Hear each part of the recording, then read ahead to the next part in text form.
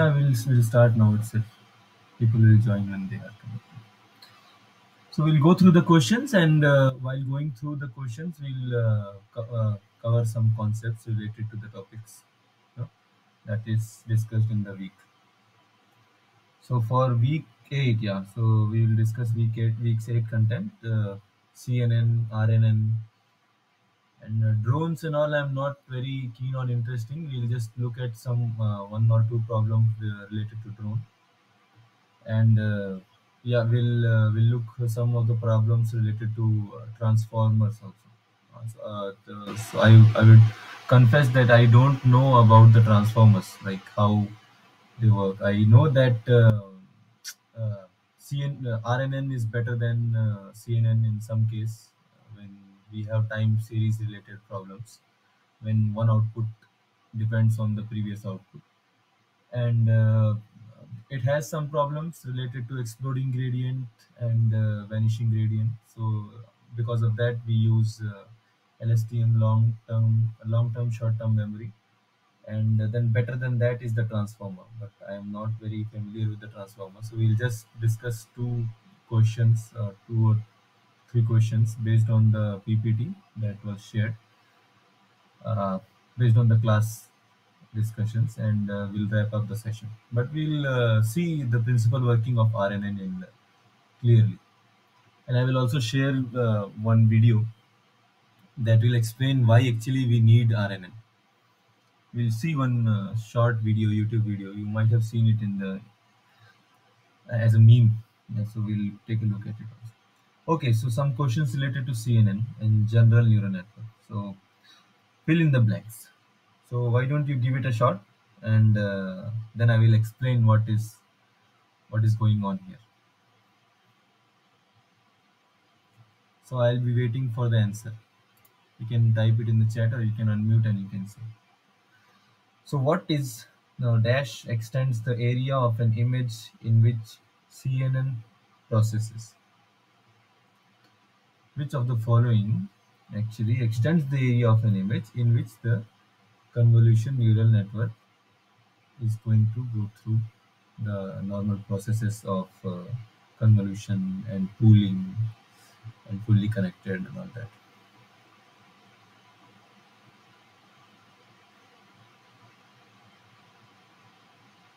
Okay. So the answer is padding. Okay. So now let's understand what does uh, this padding means. So if you recall from our convolution neural network, I discussed that uh, we have image, which is basically some values of red, blue, green in in matrix format, and these matrix entries we call them as pixels. So this is a pixel, and it, all these things have some entries. And when we are looking for some things in an image, so basically CNN is used for image classification. Uh, no, sorry, uh, computer vision. So when we uh, are scanning the image, uh, we have high resolution images. So we uh, we cannot scan or give the input of all these things at once into our into any model. It will be too much fun. So what we do, we have some filters uh, that are another matrices. Also, they are called kernels. So what these filters do is that they scan the entire image. They basically scan the entire image going by uh, order through all the matrices, sub matrices inside the image. So we have, let's say, uh, this this is our filter. Let me use a different color. So I said that this filter, this is three by three. So first it will go this three by three portion of the image, then this three by three, then this, then the last three by three, and uh, then it will move one one step down, and it will go on doing this and scanning the entire image.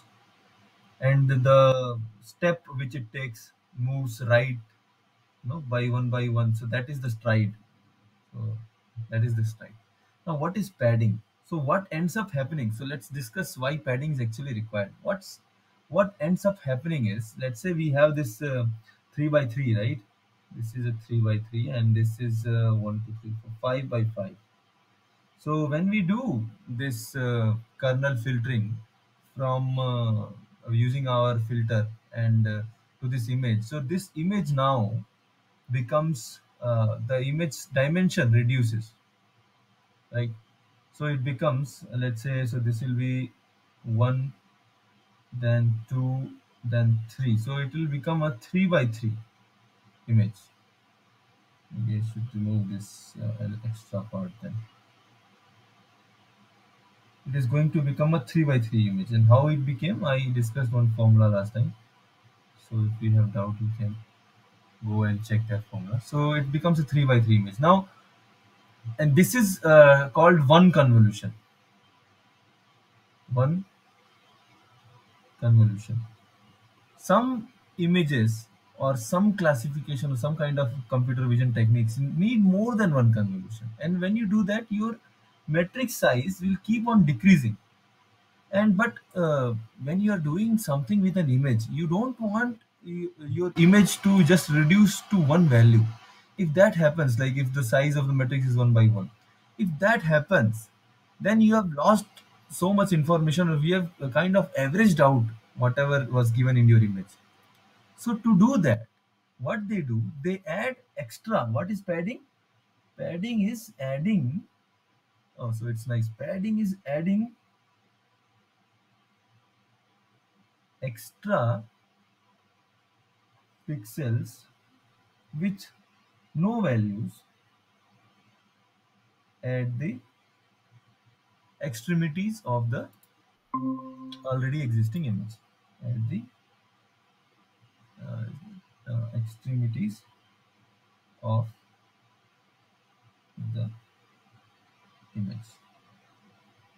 Okay so what does it look like in real in in actual when you are representing it in a graph? So it will look like that if you have uh, let's say after one convolution so you can do it in any point of time any layer inside your uh, uh, convolution network you can do it. You not not necessarily you have to do it in the starting of the convolution you can do it in the middle also okay so you have this your 3 by 3 after one convolution. What you will do is you will add pixels on the extremities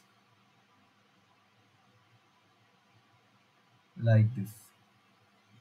So now you have a 5 by 5 again right?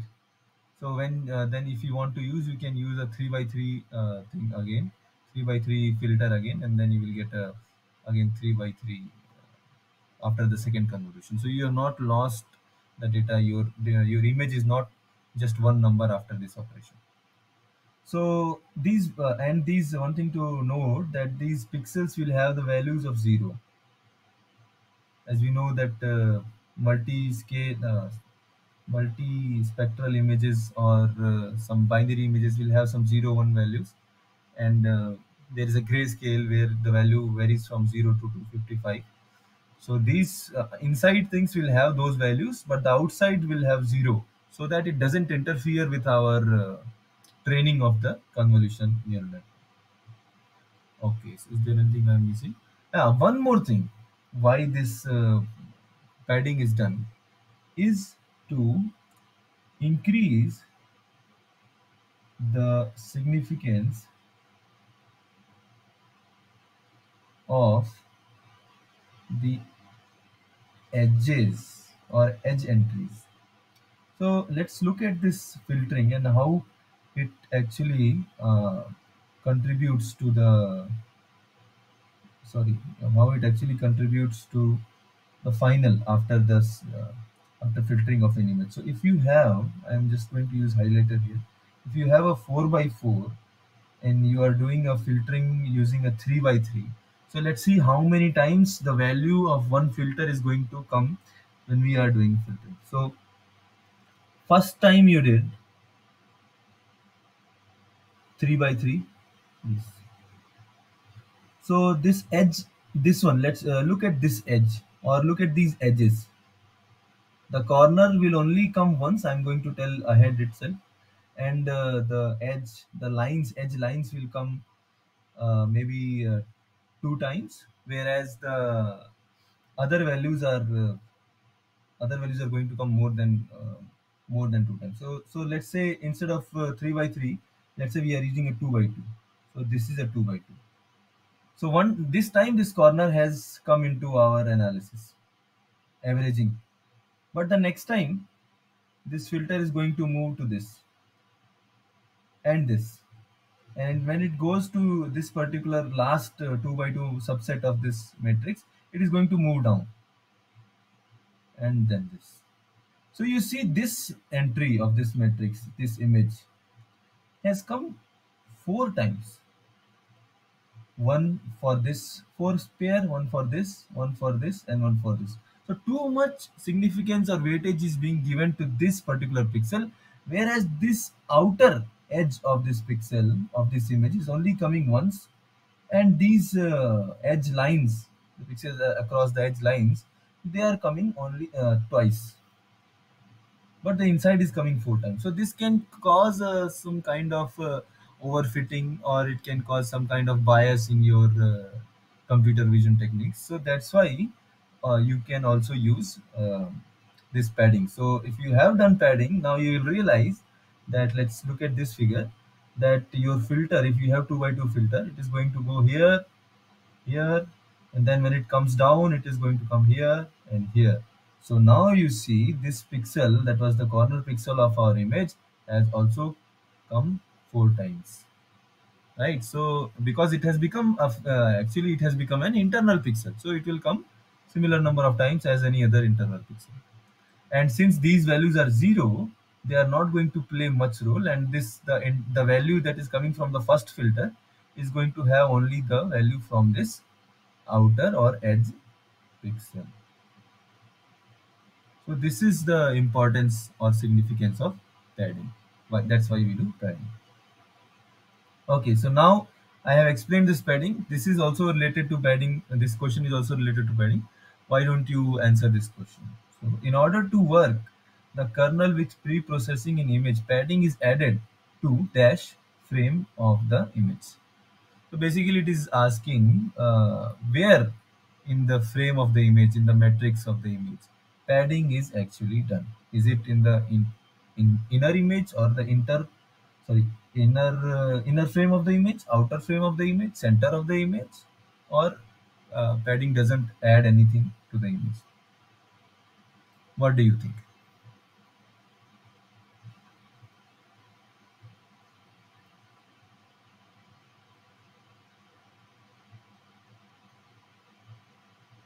oh okay. So one participant has left us. Maybe i should not ask the questions but i'm still going to ask the question. So the answer is pretty simple. If you remember what i drew when i was talking about padding so this is your frame of the image and padding is done outer frame to the outer frame of the image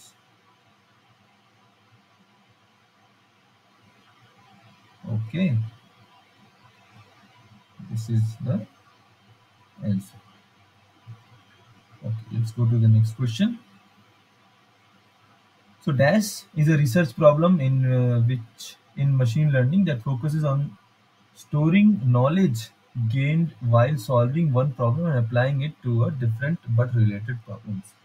So i have not used this but it is also a very uh, it is a very nice uh, technique. So what is uh, what this question is asking is which of these uh, following options or techniques uses the information that you learned while you were training for one model into some another model. So let's say you are uh, trying to make a model that identifies cars in an image. So let's say you are uh, training a model that identifies car. Uh, in an image where is the car? So usually the result of the convolution neural network will look like this is your image. Final result will look like okay this is where the car is this is where the car is something like this. Now you are training your model to do this. And while doing so you gave the model images of lots of things. So input or the training data it will have images of trucks trees and some other other things. So lot of other things you have to give so that your model can uh, distinguish between different different uh, features. So what is happening actually is you are calculating the success of your model based on whether it predicted the cars accurately or not but there may also be uh, the case that your model is also learning or it has assigned some value to truck on its own and some value to trees. So wherever there is a tree or a truck in your uh, photo, it is actually getting a value of let's say uh, if the car is less, let's say one one one, it is giving it a value of two and three wherever the truck and the trees are there. But since you are not uh, interested in that you are not actually using that uh, value. But maybe your model is training on that. So you can use this already trained model or the uh, value of the biases and the weights of this model in your own model. And you can check in your some other model and you can check whether it is giving a good significance or good identification for uh, trees on trucks also. So that will happen because uh, a model will especially this convolution neural network it tries to identify the edges and all the other things. So if you have sufficient images of trucks and trees it will inadvertently train itself to give some value to the trucks and trees but we will not know because we are not knowing that so yeah you can actually train the model and uh, use this uh, based on the uh, weights of the uh, weight, uh, the sorry based on the values of the weights and bias and use it to the uh, what do you say another model. So this is called transfer learning because you are transferring the learning that you have done in one model to some other model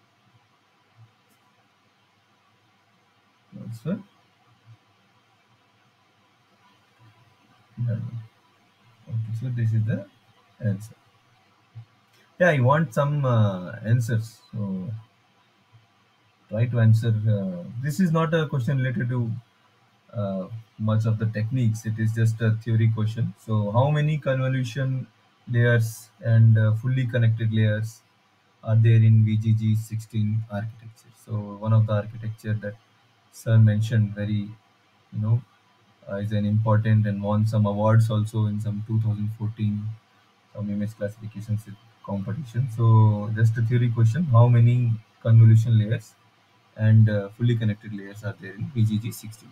So since it is 16, it has uh, a total of 16 layers. If you don't want to remember all that, so that means uh, it should have a sum of the fully connected and convolution layers as thir- uh, 16. So we have thir- one option that satisfies that, that is 13 convolution layer and three fully connected layers. So this is the answer. Okay. I have already discussed. So the architecture of VG uh, VGG16, I have discussed it uh, last session. So I didn't know that he is going to discuss the architecture in this week. So and I thought convolution neural network architecture is important. That's why I discussed it uh, last session itself. So just um, more number of convolutions are there in that. Otherwise, the basic uh, filtering and then uh, we talked about uh, different filters, right? So making a 2D image into 3D based on the various number of filters. So one filter will give this matrix, another filter will give this matrix. If you remember, I told like that. So it is doing that. So I have already discussed these things, and also it is not very important for this uh, level of course. yeah. So we'll not go through that again. Okay. So next question. This term is used in machine learning and indicates the number of passes of entire training data set the machine learning algorithm has completed. So it is very important. This uh, this question actually it may not look important but it is a very basic fundamental question that you will know when you have actually trained your model so uh, i'll i'll wait if you want to give the answer and then i will explain because you may know the answer but you may not still know the significance of this uh, answer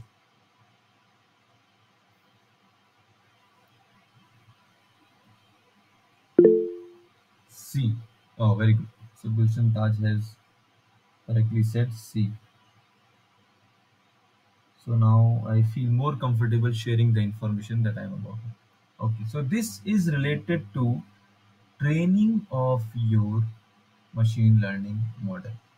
What happens is uh, you uh, in machine learning in ML models when you are training them you need huge data set if you want anything to be commercially viable or people uh, to use it. You actually need huge data set in different different scenarios right? So when you are training your data when you are training your model on that data you cannot train the model with all data at once. Because no system. Maybe some uh, hi-fi system in foreign it is there uh, they can do that but no commercial system or no system that is accessible to the developers actually has the memory to do the matrix operations uh, that will be required if you are using a very huge data.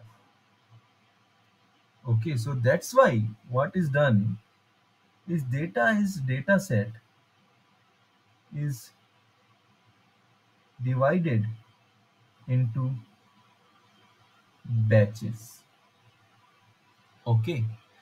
Now you let's say you have some x y and you have here 10 power 6 data set. Means you have 10 power 6 that is how much? 10000 so you have uh, yeah you have 10 lakhs of uh, data. So then you will divide it the 10 lakhs into some groups or batches. So let's say you divided it into 10 batches with 1 lakhs in each. Maybe you have a very high-fi system yourself because still for 1 lakh we need a very good computational power and memory requirement. So you did that and you have 1 lakh data set in each of the batch uh, so what you will do so the training of this is uh, a wonderful you know wonderful way this training works to avoid overfitting also. Okay so one more problem with this uh, data set. Even though so even if you have a very high system to you know train with all the data set at once it can cause overfitting. So maybe i will write it here so that training with uh,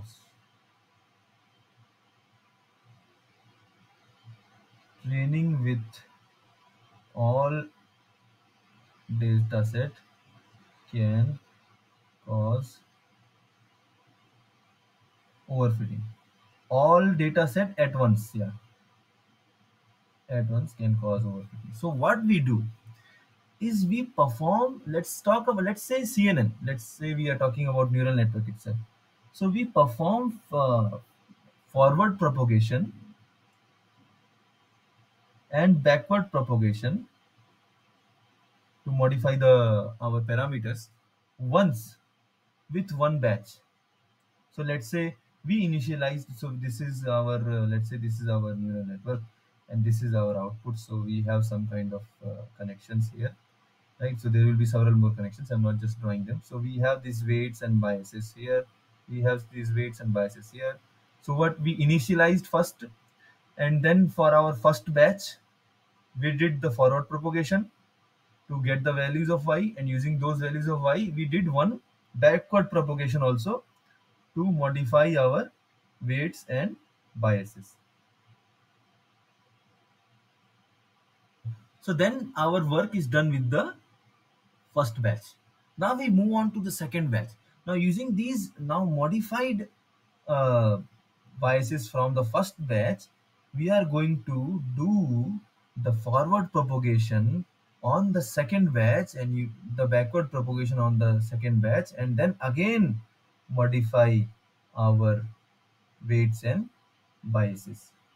So it may you may not know exactly um, but intuitively you will feel that this is slightly different than the regular uh, validation or regular training because what we do in regular training we take the data we do the forward propagation and we get the values of y's and then we uh, keep on changing the weights and biases till the difference in the predicted value of y and the actual value of, from the observation is minimum. But here we are not doing that. Here what we are doing is we are using one batch only once and we are using it to modify our parameters and then we are using second batch and then we are modifying our parameters. We are not using one batch till we are oh, sorry. We are not using one batch till we minimize the error between the predictions and the observations. We are only using it to update the parameters. Because why why we are doing that? To avoid overfitting. Because if you train your model parameters to match uh, to minimize the errors in the first batch it may not be good good enough for the second batch. So to make a general model a generalized model we go through these batches one by one and keep updating our parameters. But in that case what will happen? You may not be able to get a final solution and you may not be able to get a minimum uh, minimum error between the convergence sorry between the prediction and the observation so what you do is you go through your data the total data set more than once. And that number is called epoch so this is how basically uh, this, whatever i have said this is to summarize this. So you have some models model parameter w and b you go through batch 1 you get w1 b1 new models. You go through batch 2 you get w2 b2 because uh, from forward uh, forward and backward propagation you will update your uh, parameters. So you do that. And let's say you went through batch 10 and you get w10 b10 now this is one epoch. You have went through your data that is divided into 10 batches once but still you may not be getting the minimum error. So what you do you use this w10 and b10 and do this again. And then get w11 b11 w12 b12 and then you get w20 b20 and then do it again. So sometimes you will see in your uh, if you have seen any uh, machine learning videos and they will say epoch 100 so then they will go through this uh, data 100 times. And then they are going they are uh, optimizing their uh, parameters one like every time through one one batch. They are not like fixing one batch and then getting a, a weights and bias for the minimum difference. They are just calculating the difference and meanwhile they are uh, uh, no moving forward.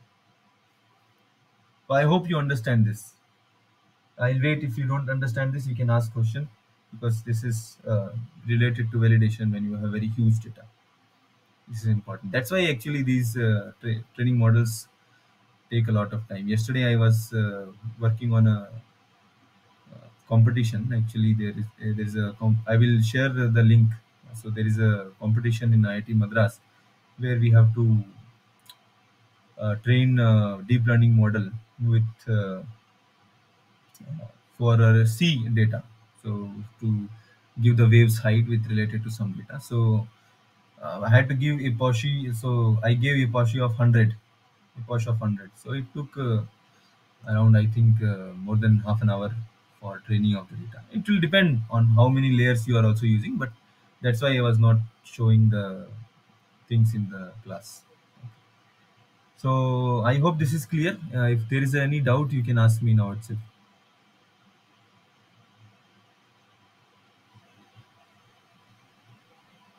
Okay, good. Yeah, so then we have some drone questions. I'll just wait for your answer. What is the full form of UAV used in precision agriculture?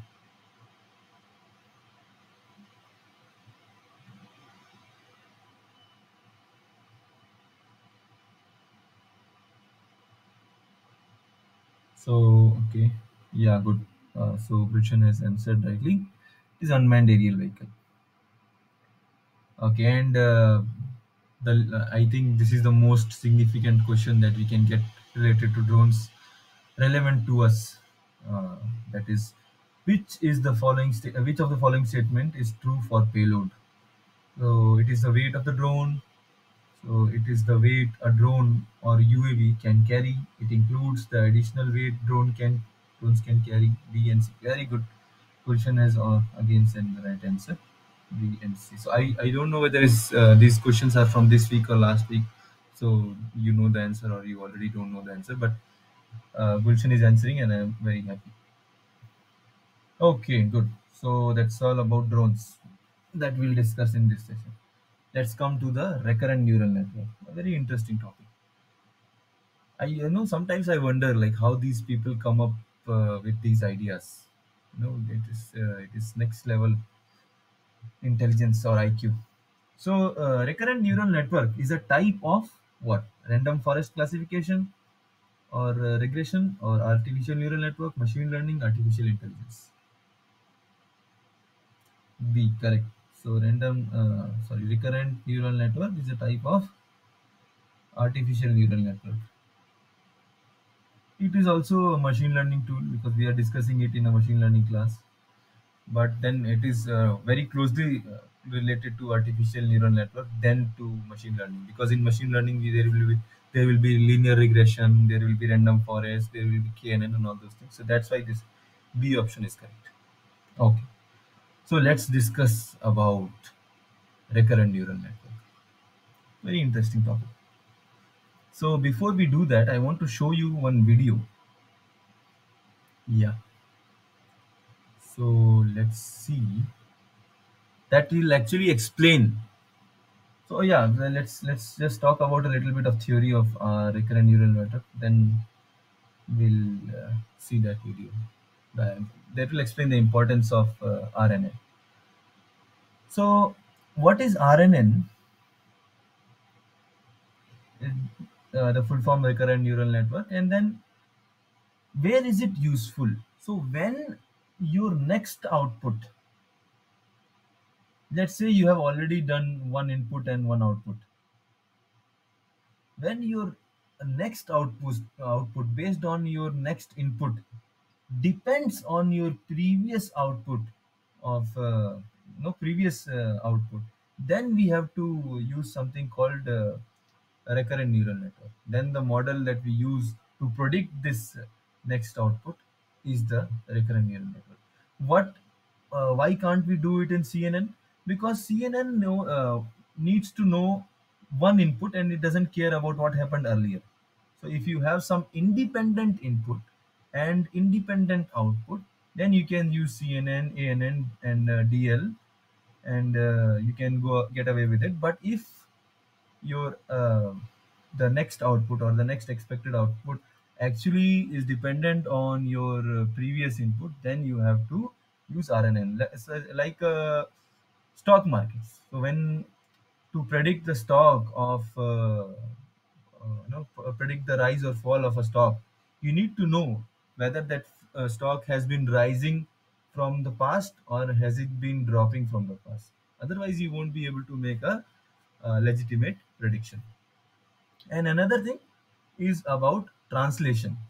So we don't need to talk so yours uh, one word. So if you can say that no no how you can you say that translation needs uh, you know the rnn because each each word we can actually translate into their corresponding different language and uh, we have the translation. But now the video that i am going to show it is actually going to show that uh, how is it you know just uh, something uh, for you to to make this fun screen right? I don't know if this is allowed or not. Okay so maybe it is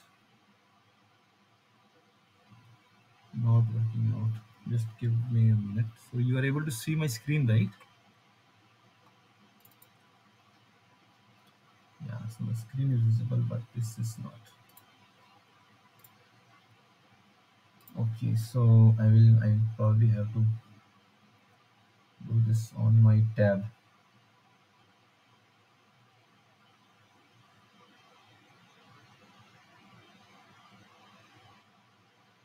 So let me just stop sharing it once and then I'll share with you when I have that.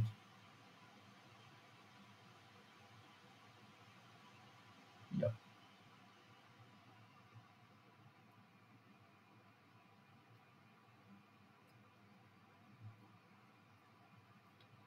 we have this. And where is that? I am still not very comfortable with using an iPad. I bought it for the sessions only, but yeah, I'm still not very familiar with it.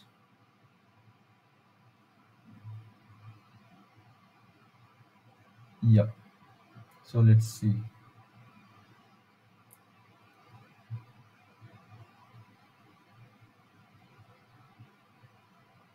Okay, yeah, so you are able to see my screen, right?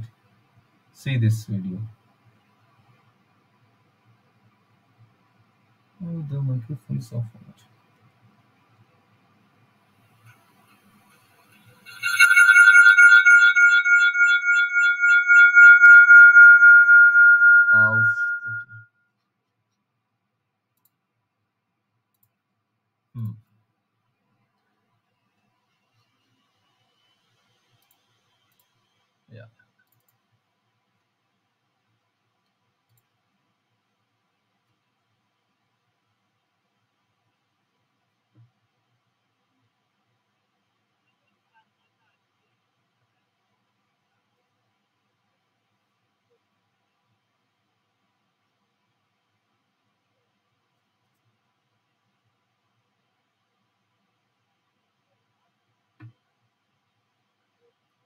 So you see here.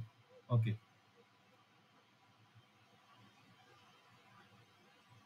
So see, uh, yeah. Oh my god.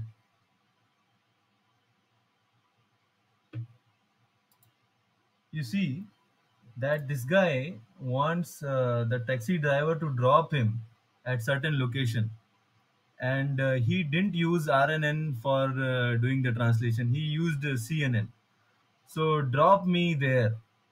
Uh, so this is just a, uh problem with the I think the sub captioning of the YouTube algorithm. But to drop him uh, on that location, he is saying decrease me there because if you translate just drop and decrease, the meaning of these two things are not very different.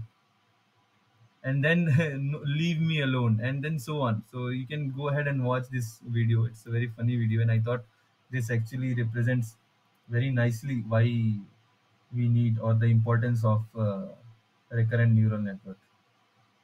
Okay, something Now let's uh, try to see the uh, architecture of the recurrent neural network. So because in the recurrent neural network, we'll know that decrease me there, if it is trained properly, it doesn't make any sense. So instead of decrease, it will uh, choose drop me there, right? And leave me alone and all those things uh, will not happen. Okay, so let's see how this works. So when you have a, a compact notation, when you do a compact notation of uh, RNN, it looks something like this. That is Y, that is output, that is X, that is input, and these are your hidden layers. Oh, okay. So how we get at this? This also was confusing to me when I looked it at the start. So let me let me just start with basic ANN representation. You have these inputs, you have these hidden layers, and then you have this output, and you have them some kind of um, fully connected network between them. Okay, I'm not just drawing the whole thing. So what you can do is you can have this as X, all these things as H, and this as Y. So I'm just grouping them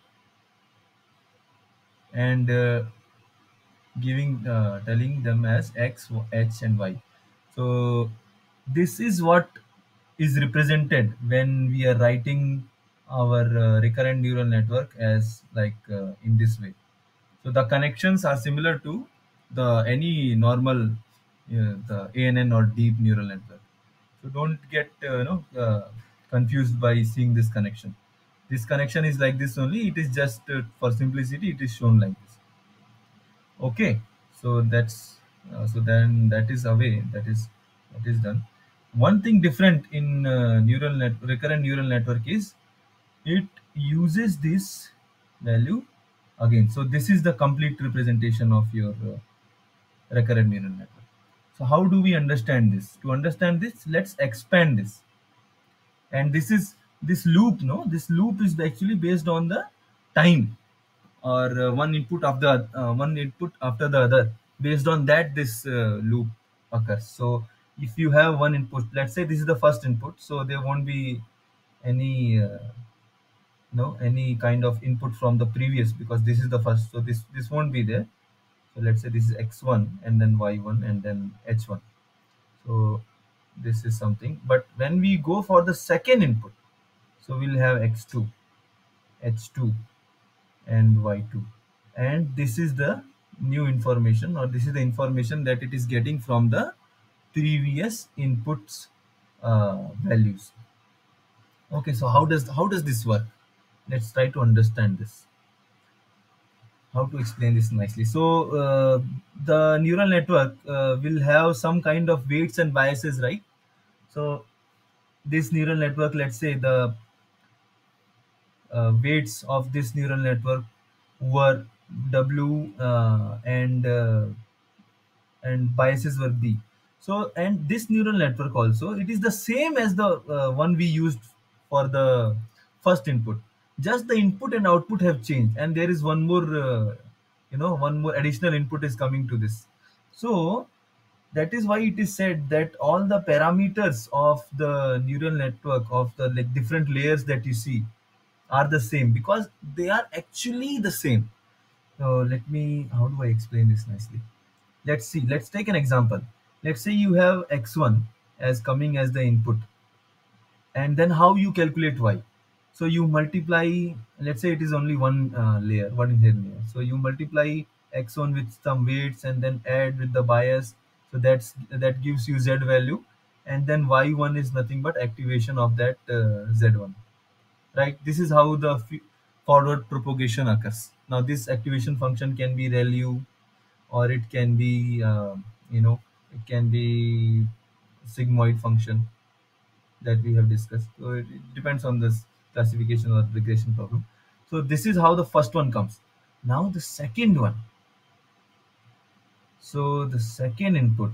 Let's say now we want to compute the second. It will be z2 is equal to x2 into b into w. And that w is same as this w and this b is same. But there will be an addition from the information that you are getting from this first one.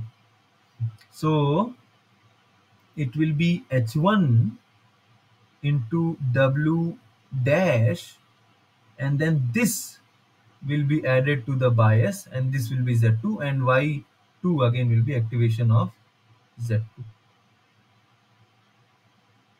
this is the simplest way we can understand this recurrent neural network. That uh, when you are computing the second no you don't go all the way to your calculation of y1 in the previous one.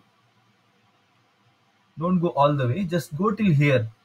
Just input the value of your x1 into your h1 and uh, use uh, you know into the hidden layer and use the output that you get from that into the h2 so basically if i want to write it more simply uh, more simple manner to uh, uh, to make you understand then i can write even z1 into uh, what do you say? W1 w dash.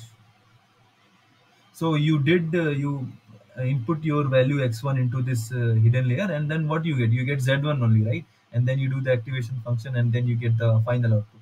So you get that z1 with or without this uh, bias and uh, you put it into the second and uh, no put it into the value or add it into the value just before going to the uh, activation function you add it and then you get another z2 so let me try i don't know how to draw this more nicely. Let me draw it something like this. So okay so yeah, i will draw something here and then i will erase it because i need some space to uh, explain some more things. So this is your x1 and uh, this is your hidden layer. It does some computation and it gives you z that give goes into the activation function and gives you y1 and the parameters are all the same for everything. And this is your x2 and y2 so how does this work? And so on. Let's say uh, and so on. All these things are there so to compute x uh, the output for y1 it is standard. You go through x1 uh, go through hidden layer and then you get the y1 but to compute x2 you go through x2 come to the hidden layer you got something z2 but that z2 is not complete because you need to add the entries from your uh, first input. So z2 actual z2 will be x2 into w plus x1 into w1 plus b. So let's say this yeah. So this is your x1 and uh, here it is z that is x1 into w plus b and y1 is uh, nothing but activation function of z1 and here when you are seeing so there is a new weight for this. That is w dash. And it is what it is doing it is just uh, taking in the value of z some some portion of the z and giving it to the uh, second input. So that is no I, I should not do this z x1 it is z1 into the w dash. And then uh, if you have another third one then it is like x3 i'm just saying them uh, h2 h, uh, h1 h2 h3 but their parameters will still be the same. And y3 uh, let's solidify this by using one more example. So yeah one more uh, recurrence.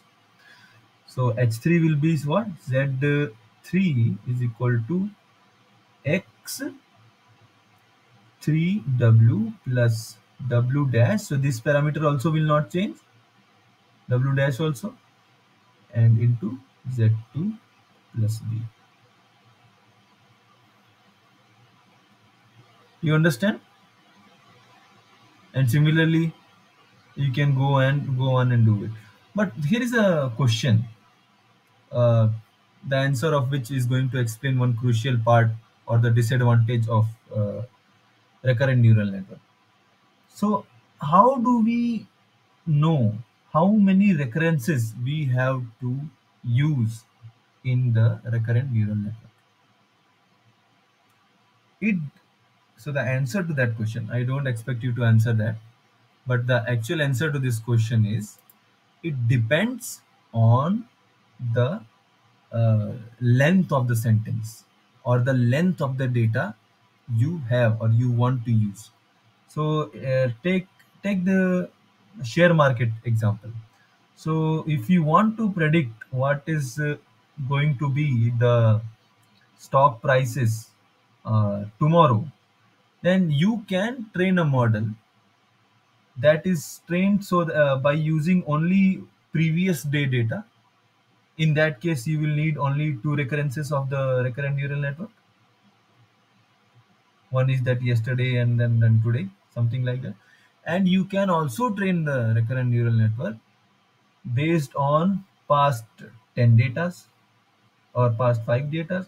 And in that case you will need 5 or 10 respective uh, you know recurrences of your neural network.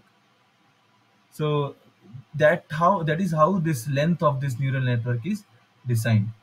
And that is the problem that actually leads to a problem in the neural network. That is the exploding gradient and vanishing gradient so le- let me explain to you how this works what is actually happening. Look at this uh, W1. Let me use a highlighter. Look at sorry. Look at this W1. It is being multiplied to H1, right? And then added to Z2. But when we are going through uh, to calculate Z3, it is being multiplied to uh, first it multiplied to Z1, then it is being multiplied to Z2. But Z2 already has Z1. So by this point of time, this value, uh, this Z value Z has been multiplied with this W two times, right? When we go third one, then this Z2 is multiply, or the, the fourth one, the Z, the Z will be multiplied with W three times.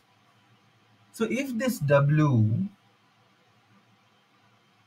sorry, if this Z is for by any chance greater than 1 and W is greater than 1, uh, let's say it is 2, and uh, you are doing something, uh, some prediction of stock prices based on the previous 50 data, then you see that finally in Z50 or you will have something like W to the power 49 into Z. 2 to the power 49 into Z. And then uh, this is going to create, no, this is a very high value. So that's why like it's called like uh, exploding gradient problem because you are going to use these uh, values to compute the gradients. So then they are going to transfer to the gradients also. So that's why there is a problem with recurrent neural network. Now you can say, sir, okay, uh, maybe it is going uh, to a very high value. Why don't we keep it less than one so that uh, W power very high value it doesn't go very you know uh, very far, very huge number. Then in the that case you will have a vanishing gradient problem because it will become so small that it is not going to account for the uh, weightage of Z and the gradient is going to become very less. So these are the two problems that are there in the uh, recurrent neural network that are that is solved by uh, long-term, short-term memory and uh, transforms. So let me state the problem here. That is exploding gradient, vanishing gradient problem in RNN.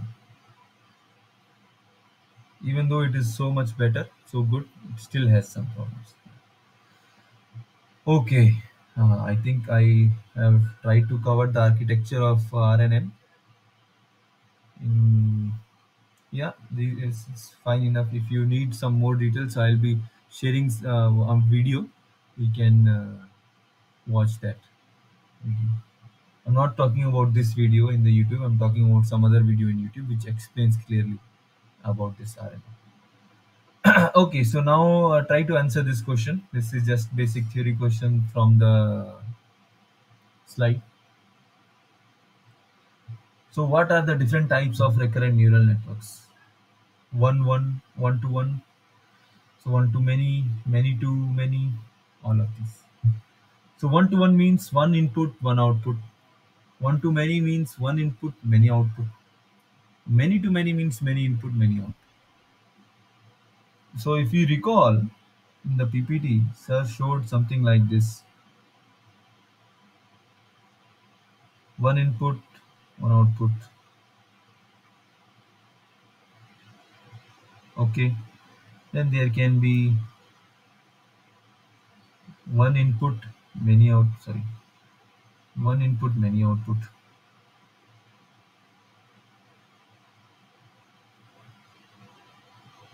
Then there can be many input and many output.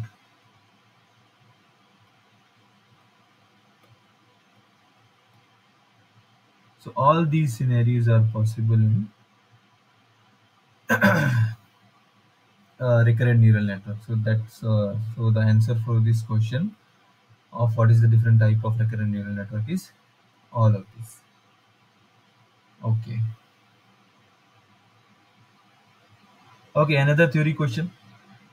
Which uh, of the following is network architecture of RNN. VGG16, uh, that we already know, it is a convolution neural network. REST50 Xception or BRNN. So what is the answer to this question? Which of this is BRNN? Yes. So what is BRNN? BRNN is bidirectional recurrent neural network.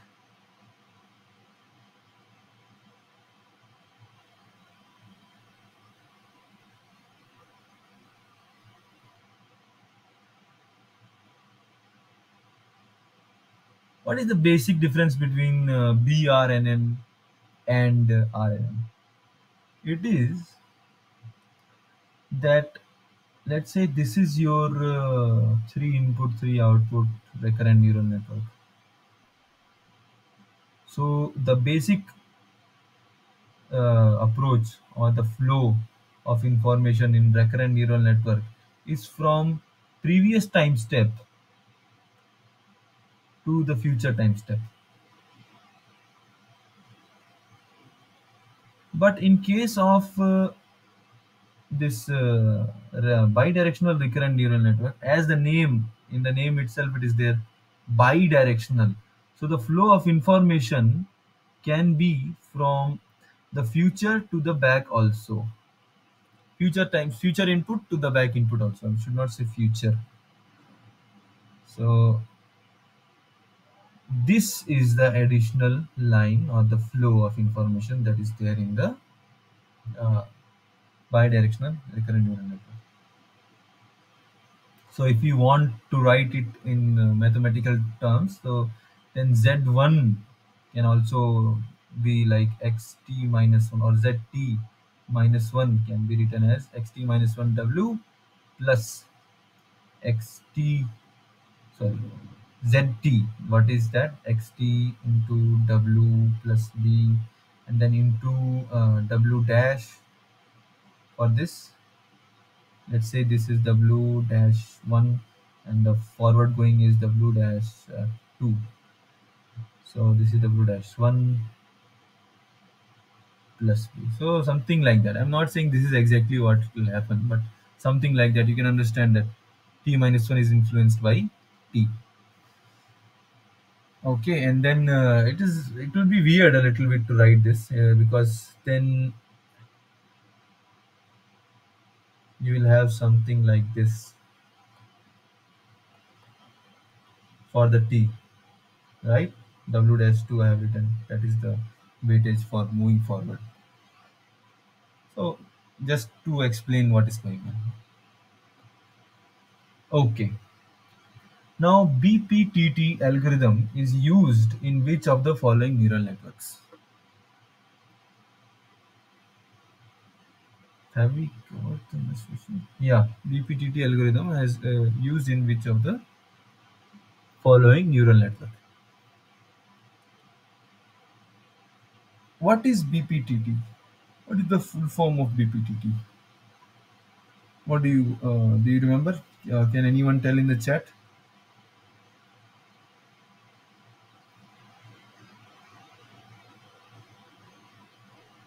okay so bptt is nothing but back propagation through time. This back propagation is used to calibrate your parameters. So back propagation through time. And when we say time where do we use time? We use time in recurrent neural network.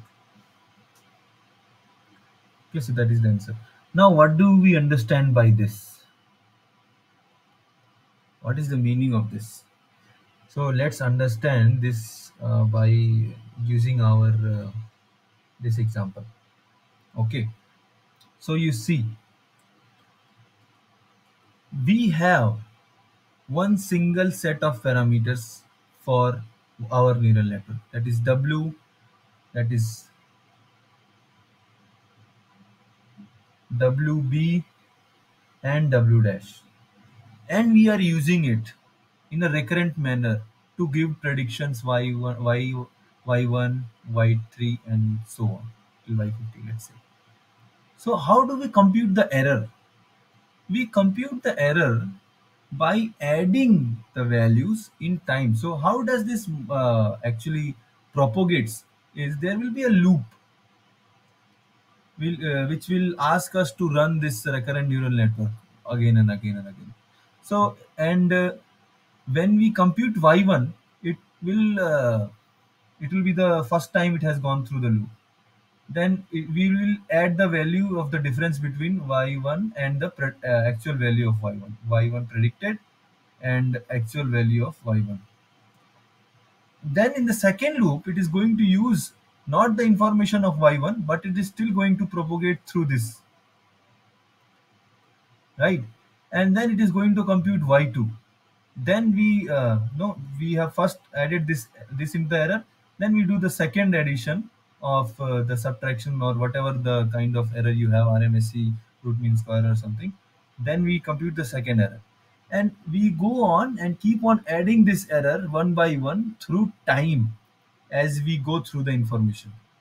So this is why and then we have the total error and then we try to minimize it. So this is why it is called back propagation through time and uh, that is used in RNN. Okay, so now if you understand this, answer this question. Which of the following sums error at each time step? Which of the following algorithm or uh, mention options sums the error at each time step?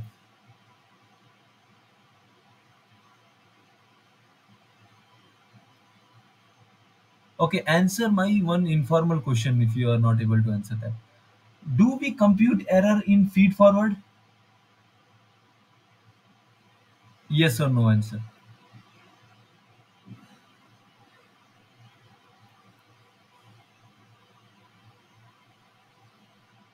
No, very good. Gulshan has said uh, we don't compute error in feed forward because in feed forward we uh, just computing the output error computation and uh, uh, the things happens in the uh, back propagation. Okay, feed forward is just prediction. Error computation is something else. So uh, back propagation through time is the answer for this question. So I told answer because this third option is just nothing but feed forward and back propagation to, together. So when once you say feed forward is not the option, it is very high probability that uh, BPTT is the option. So that's why you took. And I have explained this that uh, moving through time, we compute the error by going into the loop again and again and computing the values. Okay. So uh, then we are near ending our session. Yeah. So this is a question based on the slide itself. We will not go into much of the detail regarding the transformers. Basically, what transformers do, I'll just uh, explain in uh, two three minutes. Is that they have an image. They divide this image uh, as uh, as in PPT, as sir showed. I will uh, draw it here. There is a tree. They divide this image into parts. Then this is one part. So let's say this was one part which was having some portion of the tree here, right? Based on this. Then they flatten it. What does what do we mean by flatten? So these things will have some entries. This is a matrix uh, 5 by 5. So they will get a 25 by 1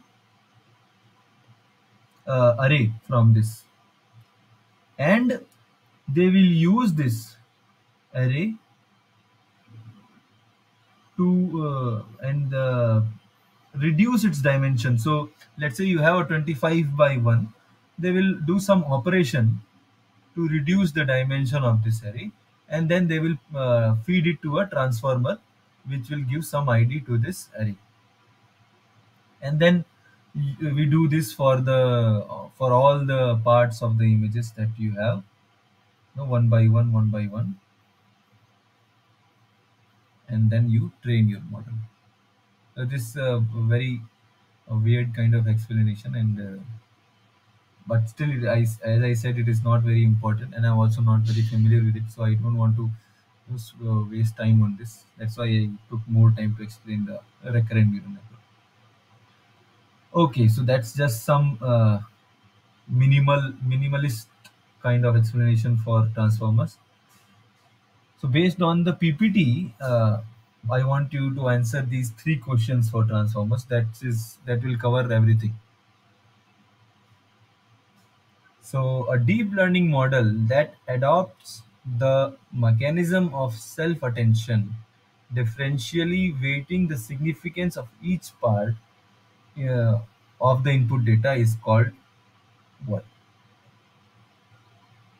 So when I didn't know about this transformer, I was inclined to give the answer as CNN because CNN uh, has filters that look for each features, and then that's how the you know, identification or object detection works. But this is uh, this has mentioned the mechanism of self attention which is uh, done in the transformers.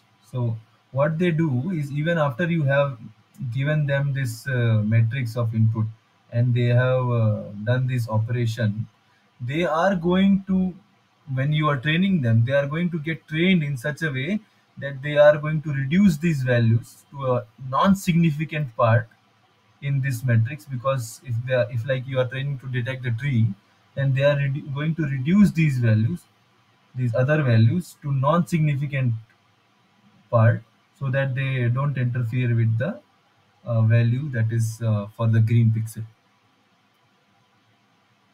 So that is what self uh, attention means. So they know that which value is more significant and they give more signif- uh, the more attention to that value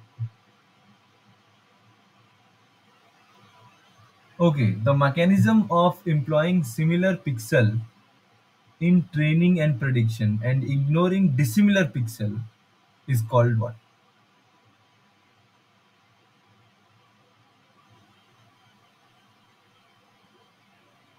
Oh, so I didn't notice that uh, there was no answer for the last question. Let's try this question. The mechanism of employing similar pixel in training and prediction and ignoring dissimilar pixel is called. I just explained it is very similar to the last thing that we heard. So we have come into the topics of transformers. So in that transformers, as I told that when it is training, it is going to give more significance to the pixels that are giving more uh, accuracy. that is the self attention that I was talking about. So this is the mechanism that uh, uh, employs that similar pixel in training and prediction and ignores the dissimilar pixel. So this is self attention. Okay, just now this is just a mathematics uh, question. This I think you should know. Uh, I think both of you should answer this question. What is the uh, correct representation, correct representation of F1 score?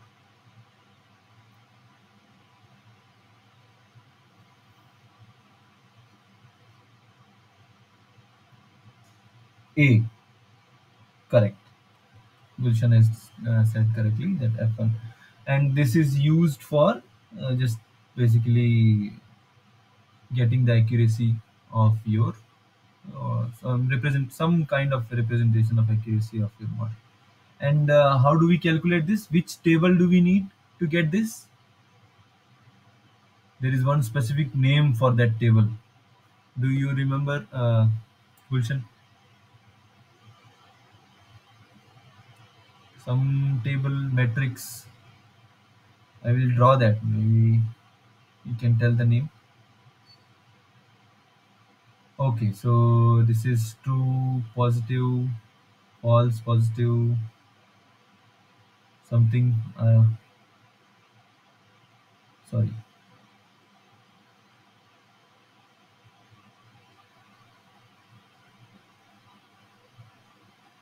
Something like that. Ah, okay, good. So that is the confusion matrix. So getting that, you can calculate the value of recall and precision, and then you can get the value of F1 speed. Okay, good. So I was able to finish it. So this that's all the questions that I have for this session. And the important part for this session was RNN and uh, some epochs and uh, how these uh, deep learning techniques were learned. Uh, do the training. Transformers I didn't cover that well. So if you feel that it is more important, then I I would suggest you to uh, uh, watch some YouTube videos, or maybe I'll share some link of the YouTube videos for that because I don't feel that that is very important because we don't go into that much detail when we are doing machine learning in crops. Usually, people will do deep learning um, and uh, convolution neural network, not transform. We don't even go for RNN, uh, as a matter of fact. Okay, so if you have some questions, then uh, or some problem is there with the assignment, then you can ask now, uh, because that's all for today's session. We'll, I'm going about to end this session. So, do we have any questions? You can ask if you have questions related to transformers. Also, you can ask. Uh, if I know, I will try to answer them. If I don't, maybe I will get back to you next week. Okay, thanks. Uh, thanks, Gulshan. So we have Green Parrot. So only two people, uh, two people joined. Yeah, I thought that today's uh, this week's assignment was simple, so not many people will join. Okay, then uh, that's all for today's session. Thanks for joining.